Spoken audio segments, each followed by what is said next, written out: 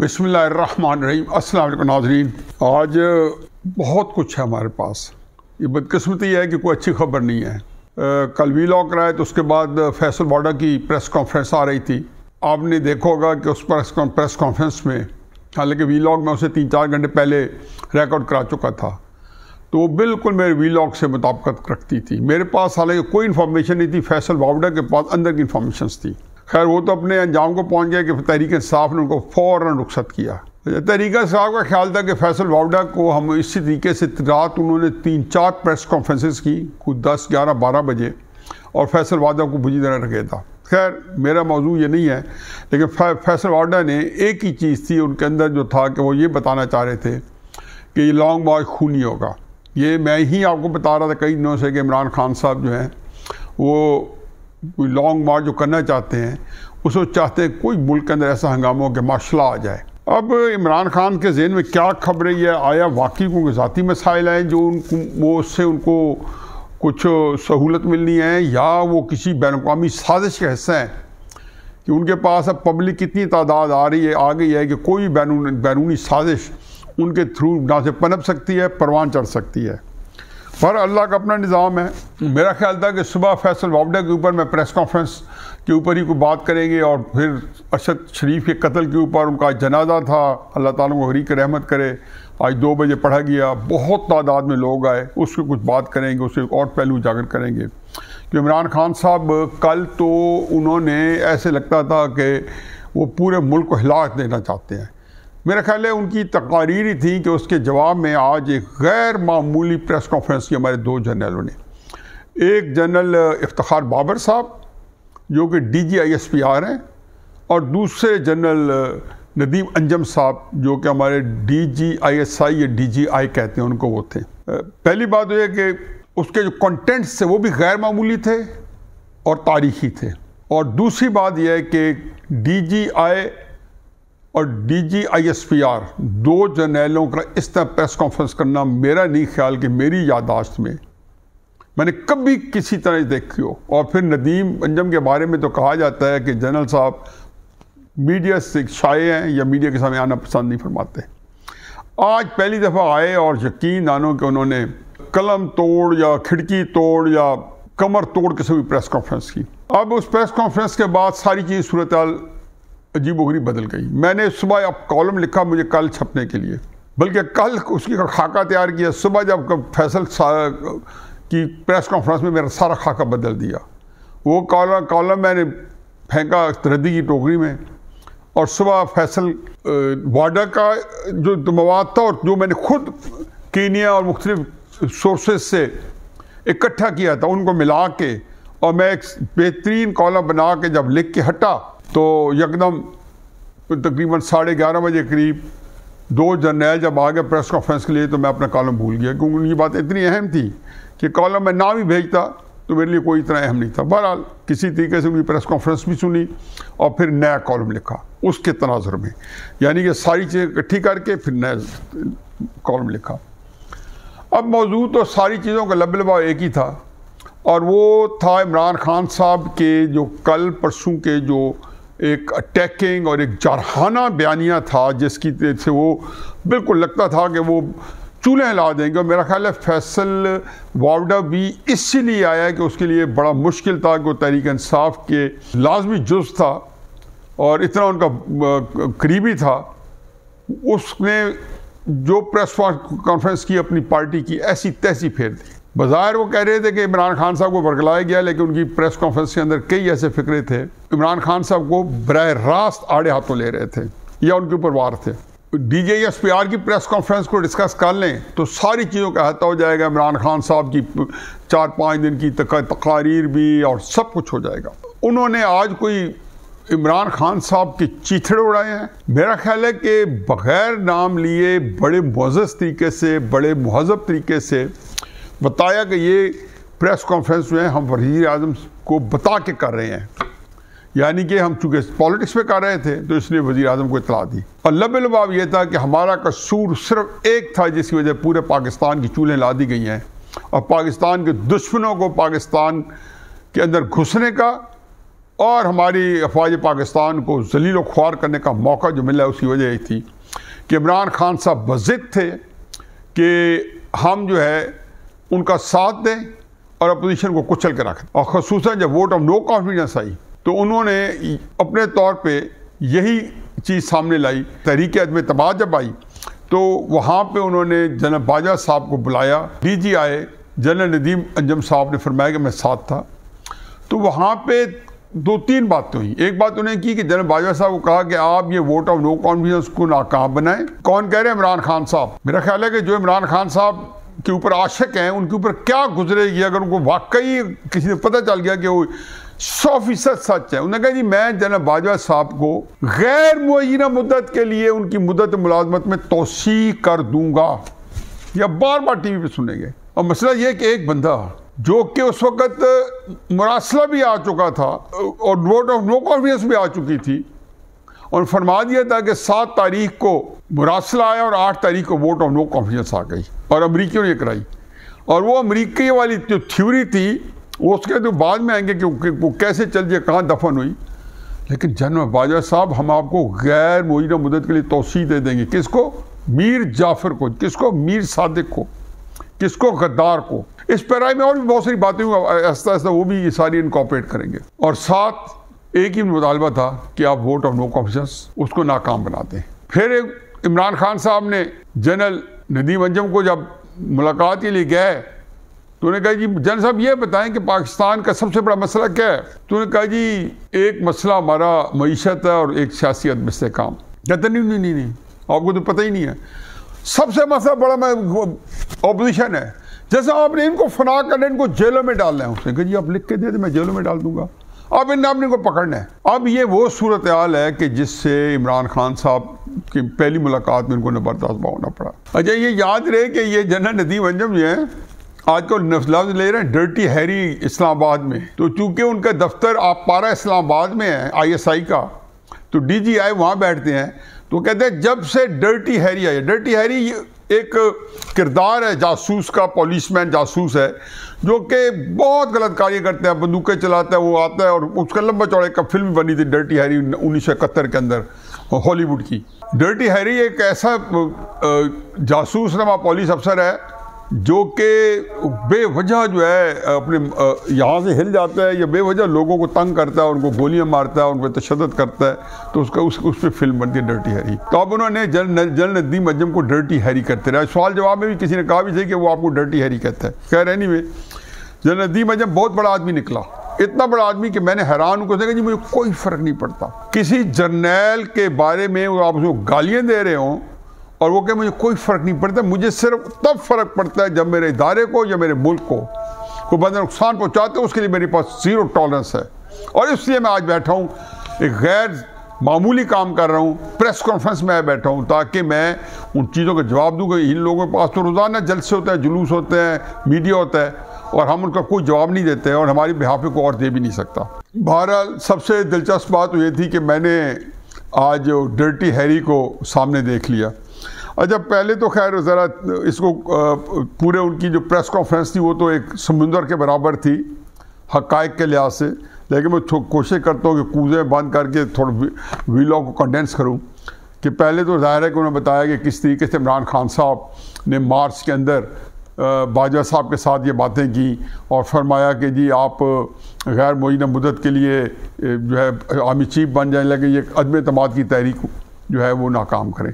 तो बाजा साहब ने बता दिया कि नहीं, हम बिल्कुल जो है हमारे रोल जो है, सियासत से हमने खींच के अपनी गलतियों पे हम नादम हैं जो हमने माजी में किए हैं और आइंदा के लिए हमने बिल्कुल दखल नहीं देना, हम हमारे हाथ खड़े हैं। खैर, बहुत सारी बातें मैं मुतफिक भी नहीं हूँ। कहीं कहीं बाजवा साहब का रोल भी नज़र आता है और फिर परवेज लाई साहब का उन्हीं दिनों जाके मिल जाना, वो भी बाजवा साहब ने उनको भिजवाया था।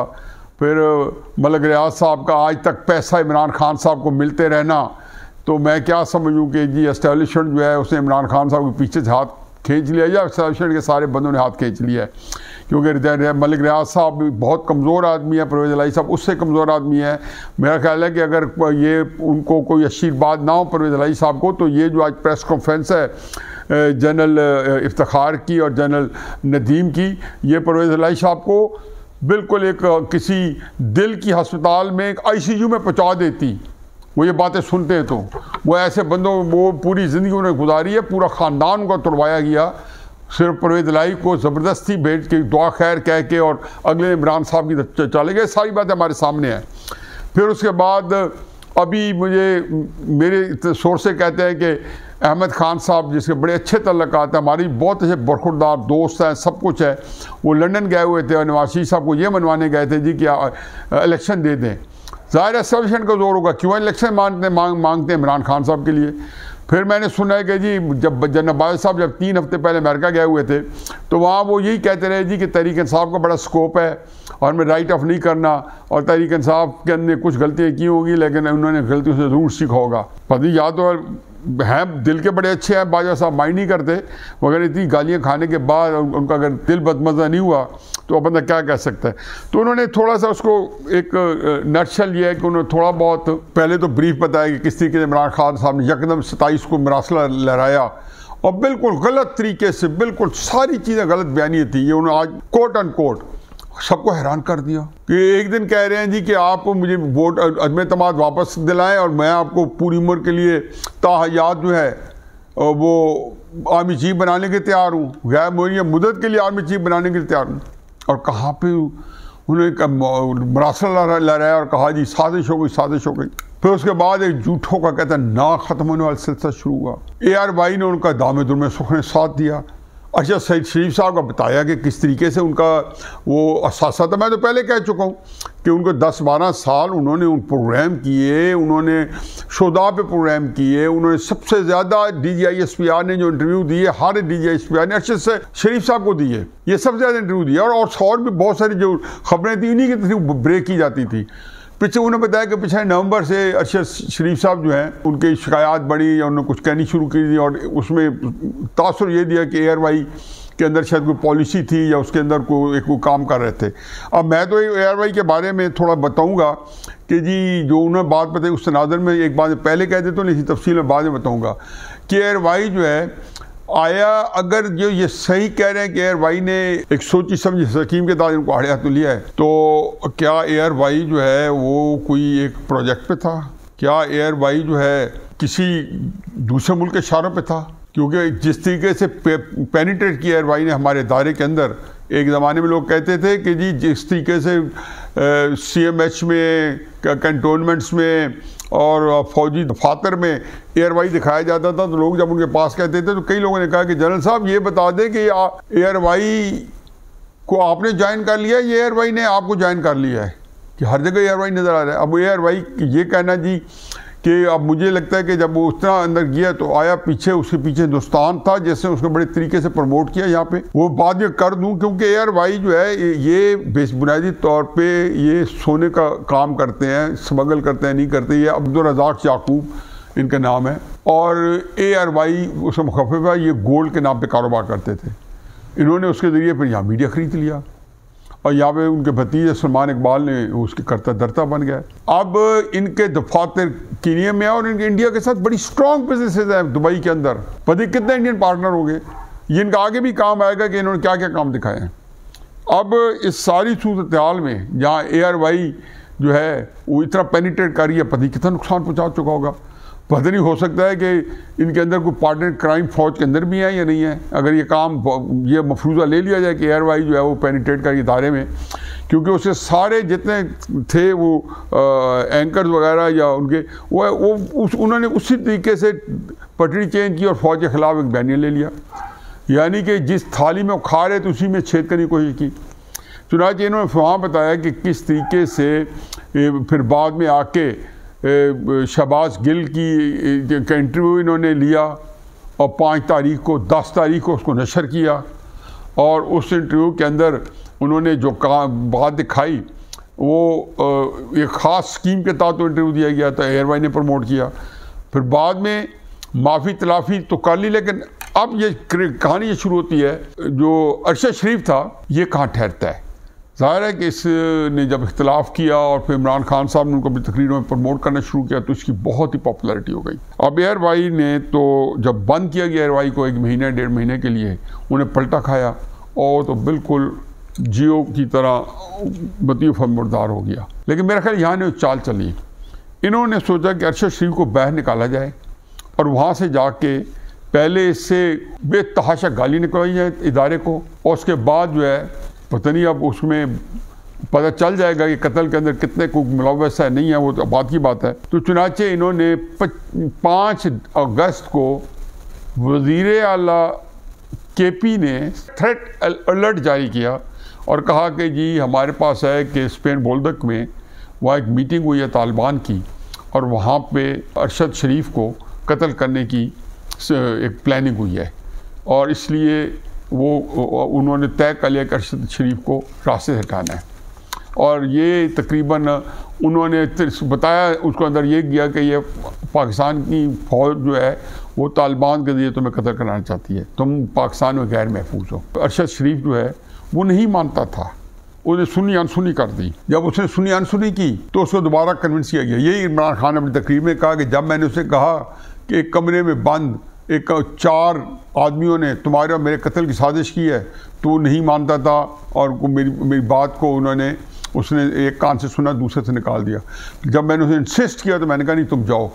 तो जाने के लिए साथ उसको जो चेयर करने के लिए, या उसका हौसला अफजाई करने के लिए, मुराद सईद चौबीस घंटे साथ लग गया। फिर मुराद सईद ही उसको लेकर चला गया के पी बाचा एयरपोर्ट पिशावर से जहाँ दस अगस्त को।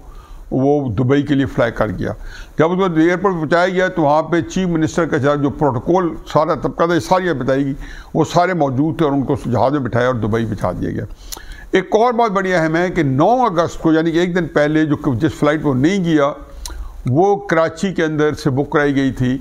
और वो अमाद एक कोई है, अमाद यूसफ, उसके आदमी हैं, सलमान इकबाल के।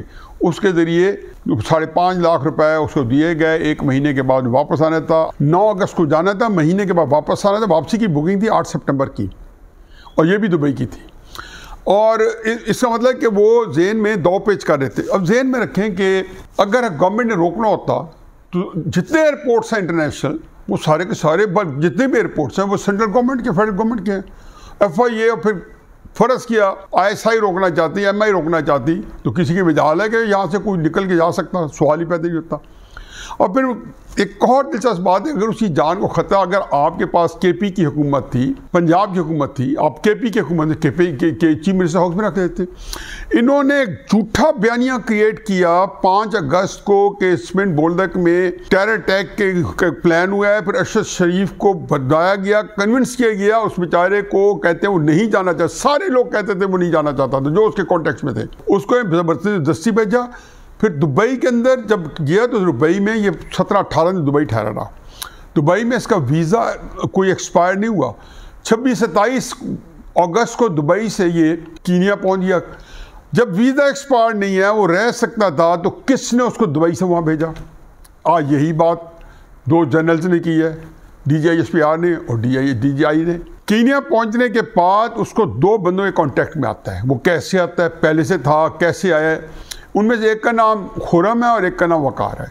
खुरम की दिलचस्प बात यह है कि खुरम जो है, ये वो बंदा है जो गाड़ी चला रहा था जब जिस दिन वो बेचारा मौत के घाट उतार दिया जाता है अरशद शरीफ। उस खुरम जो है वो सलमान इकबाल यार भाई वाले का मुलाजिम है। मैंने अपने तो भी तहकीक की थी, मैंने दो चार चीज़ और भी पता की हुई है। एक और चीज़ मैं इनकॉपरेट करता हूँ मैंने दो तीन, कल परसों से टच किया कि कीनिया के अंदर जो सबसे बड़ी इन्वेस्टमेंट है वो इंडियन बिजनेसमैन की मतलब टाटा ग्रुप जो है, वहाँ सोडा ऐश का जो डिपॉजिट्स हैं, जो ज़ख़ीरे हैं, ज़ख़ायर हैं, वो सारे के सारे एक ग्रुप इंडिया का ओन करता है, उसका नाम है टाटा सिर्फ़ यही नहीं, चाय के जितने बड़े बड़े बागात, वो इंडियंस के पास में है, उनकी जितनी मादनियात हैं, उसकी ओनरशिप इंडिया के पास है। लाखों एकड़ agriculture land Indian Indian Indian ownership में है। हाँ क्यों? इसका मैं कहूँ, क्या कहना चाहता हूँ? कि जो रॉ है, उसकी भी प्रेजेंस है। इंडिया में रॉ कीनिया बहुत स्ट्रांग है। अब आप इसको मिलाएँ कि ए आर वाई जो है, जो सोने का कारोबार करता था जायज़ ना जायज़ मुझे से कोई बात नहीं अब्दुल रजाक याकूब, और इसी के नाम से एयर वाई और ये सलमान इकबाल का चचा है, ये बेसिकली एयर वाई गोल्ड था। इनके कीनिया भी है, कम अज़ कम एमरेट्स और इंडिया के साथ इनके बड़े स्ट्रॉन्ग कॉन्टेक्ट्स हैं, सोने की तजारत के सिलसिले में।